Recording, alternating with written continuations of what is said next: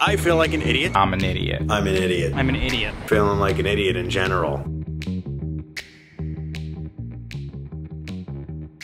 I'm about to be 31 years old, and I've just now realized something I've been living with my entire life. Hey, you're an idiot. This guy, my internal critic. Yeah, I knew he was there, but I never realized how many times a day he's putting me down and what kind of impact that's having on my life. Turns out a lot of other people are living with their own internal critics. So I reached out to a clinical psychologist to figure out what I could do about this. And she gave me some incredible advice that I'm gonna share with you right now. that we have maybe between 12,000 and 80,000 thoughts per day.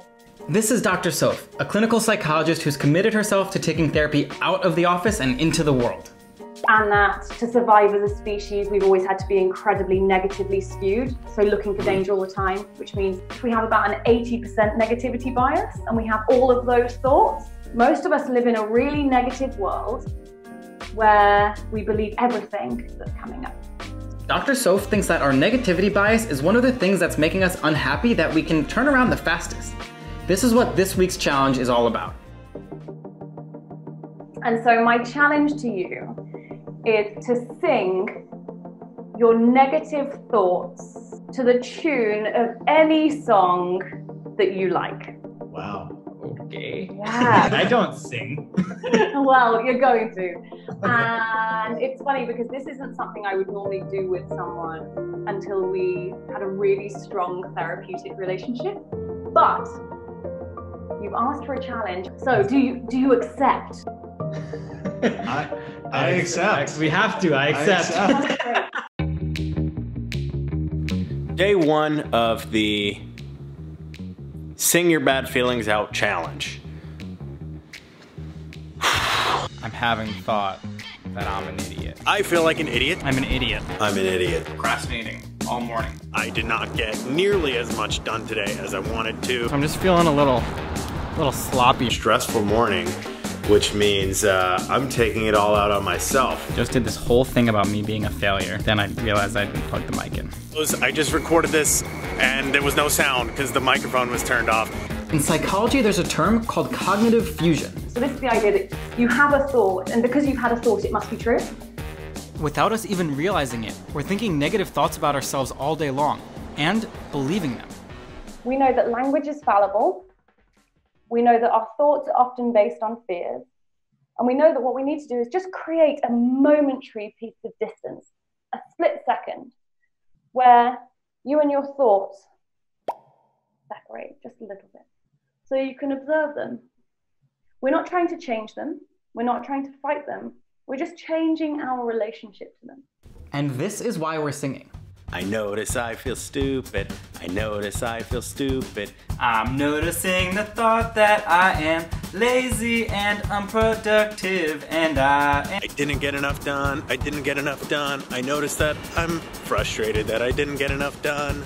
I said, Ooh, Alex, burn, burn. I'm noticing the thought that I'm a jerk, burn, burn. I am noticing I feel like an asshole cause I'm running a bit behind. Imagine if I didn't do dumb things, I wouldn't have to sing this song. Ooh. As silly and ridiculous as I felt singing these songs, my relationship to these negative thoughts changed really fast. In the cracks that Dr. Soph was talking about, I had a chance to analyze my thoughts. And when I did, I realized maybe they're not true. Maybe I'm not an idiot. Maybe I'm not lazy. Maybe I just made a mistake. Maybe I was just being unproductive. I went from feeling like there's something wrong with me to feeling like I'm a human who makes mistakes sometimes. And this also means that I can actually change myself and be who I want to be. This gives me a ton of hope. All right. That was easy. I like that. Well, I think I just made very clear. It helped me at least get my thoughts out there. I'm hearing them. It seems like now I have a solution. Now I'm mad, and that's okay. Because I will still go get it done. These make me feel better because it makes it seem like there's possibility for change, as opposed to it being part of who I am.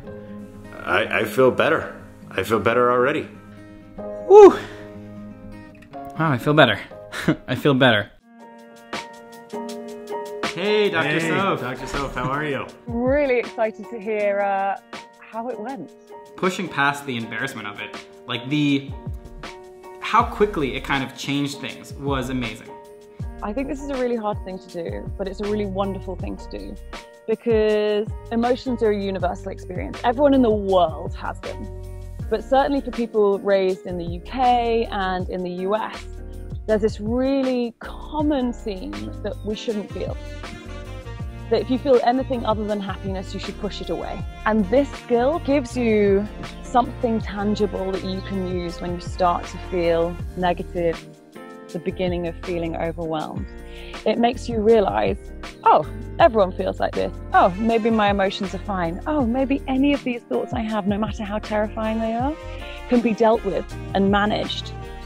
And maybe I'm just deeply human and it's totally okay to feel and think you're an idiot from time to time. So that was a pretty weird but pretty fun and valuable week. It felt very strange walking around New York City singing to myself, but also, I guess that's not that weird in New York City. I imagine if I don't keep this up, I'll probably quickly go back to being a real jerk to myself, so I'm actually gonna try and keep it going. So now it's time to go out in your mind. Give it a shot. You can even upload a video of yourself doing it to the comments in this video. We'd love to see it. You might feel a little bit uncomfortable, and that's totally okay, but you will fall in love with what you get from this. I'm Dr. Soph. Rally on! Rally on!